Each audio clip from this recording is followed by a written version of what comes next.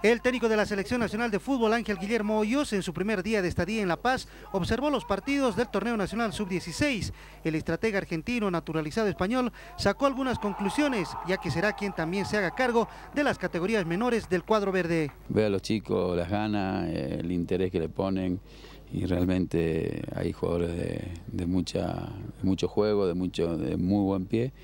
Y bueno, esto me, ilusiona. Hoyos tiene una amistad de muchos años con el astro argentino Lionel Messi. Ángel Guillermo recibió un mensaje de felicitaciones de su amigo al haber asumido la dirección técnica del combinado nacional. Lo de Leo es un, nace, nace el sentimiento del balón y hoy es el sentimiento del corazón. Así que es una, amistad en silencio que la compartimos hace muchos años y bueno, es una alegría inmensa que Dios la Virgen me, haya colocado en el camino a una persona tan, tan especial como él.